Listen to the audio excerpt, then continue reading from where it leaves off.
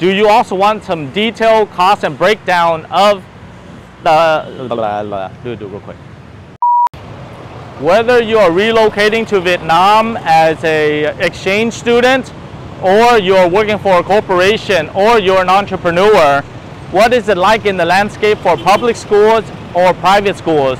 And for your toddler or your teenager? So Vietnam's education system is quite diverse and we want to share with you some of that information today. But before I do, make sure that you watch our other videos about living in Vietnam. So let's find out on what is the cost of education in Vietnam.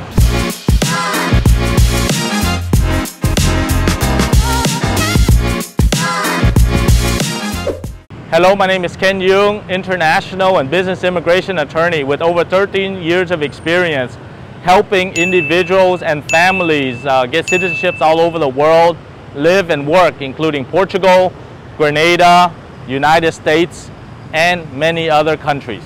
So you have a family and you're looking to move to Vietnam and look at the educational system and what options you have Great thing for you is that Vietnam is a country that really focuses on education and the literacy rate is one of the highest in the world. In 2021, 95.7% of all Vietnamese have achieved a literacy rate of considered a fluency. Thus, the focus on education and the variety of education opportunities from public to the private sector are all available in Vietnam. And that's one of the great points of having your children study and be in the Vietnam education system. Vietnam's education system has six levels. Preschool for three years, also known as kindergarten.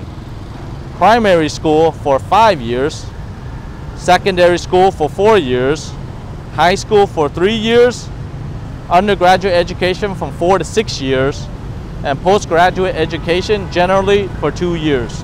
At the end of each level, except for preschool, students have to pass a graduation examination in order to graduate to the next level, especially for high school, as students have to take two examinations, one to graduate from high school and the other to get to college or university. The school year begins on August or September and finishes on May or June. A typical school day starts at 7 a.m. and ends at 5 p.m. from Monday to Friday. Students have holiday breaks as well for Vietnamese Lunar New Year for two weeks, summer break for two months beginning in June, Hung Kings Festival on the 10th of March in Lunar Year, Reunification Day 30th of April, Labor Day 1st of May, Teachers Day 20th of November. So there are three main options to choose from in Vietnam. There's a public system, the private system, and then the international school system. So if the public system is probably the most affordable option for anyone, the private system are what are called the hybrid systems. They're taught in English and Vietnamese or a second language in Vietnamese. And then the international schools would cover British International, American, Australian, Canadian, Japan, and Korea as well. So those are the three main education systems available in Vietnam right now. Public school is established and monitored by the state. The state also nominates administrators and decides staff quota. The state invests in infrastructure and allocates funding for their regular spending task. Parents try to get their kids into public with high grades to be able to enroll reputable public schools. Tuition fee is more affordable than private schools. Parents can also get government support and yearly tuition fee is about 1,000 US dollars. The second option I want to talk about are private schools. Most of the options that people choose for private schools are at secondary level, at the university level, but many, many have increased the trend towards having them start K through 12 at a private school.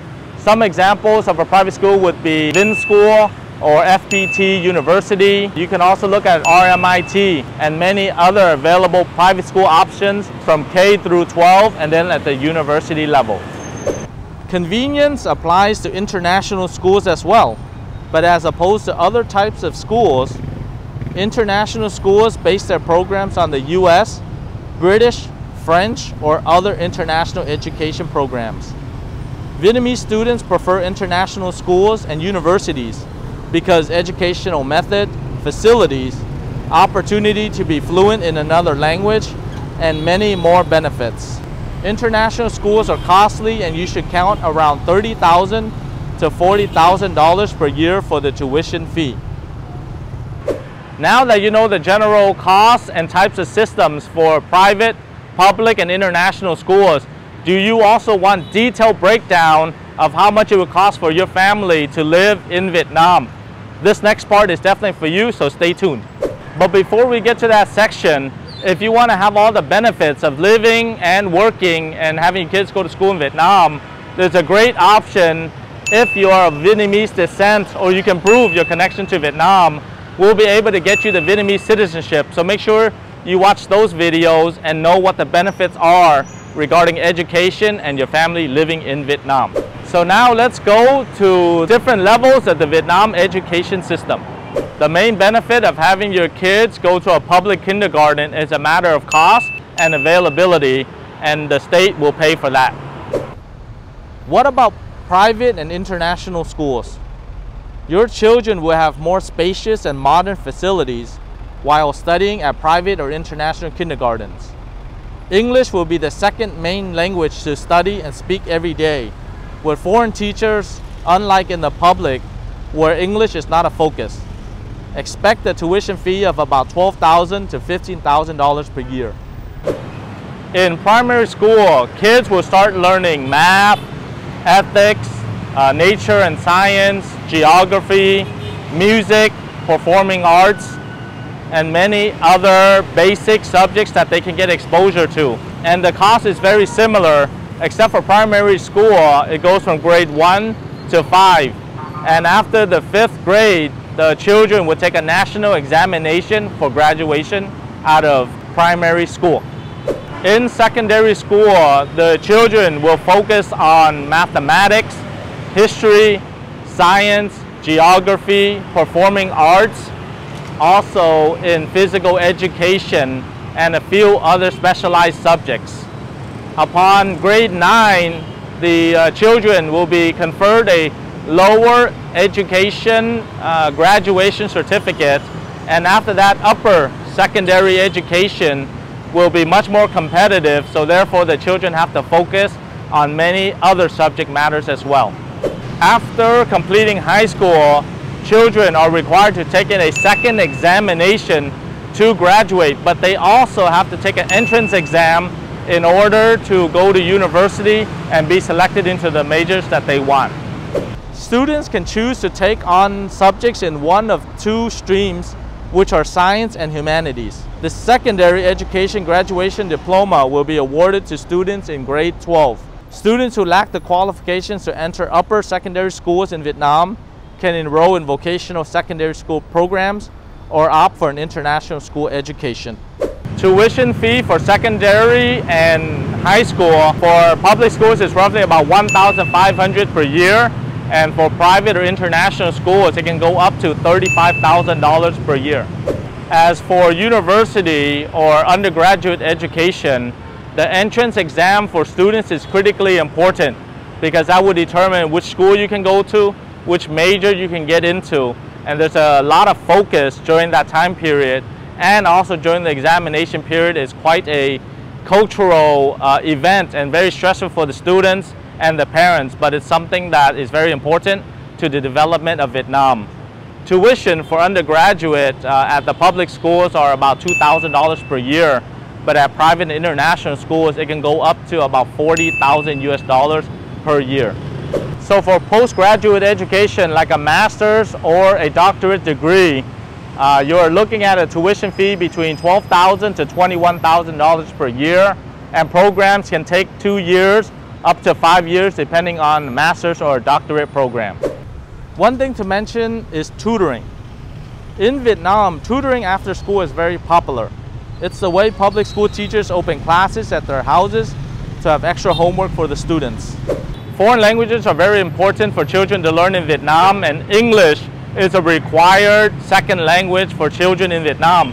Nevertheless, other languages such as Korean, Japanese, Chinese, French, Spanish are also taught and commonly learned by children as well. And there are many programs that do a cultural immersion whereby you learn both the foreign language and Vietnamese or English as well, where they can fully immerse in the environment.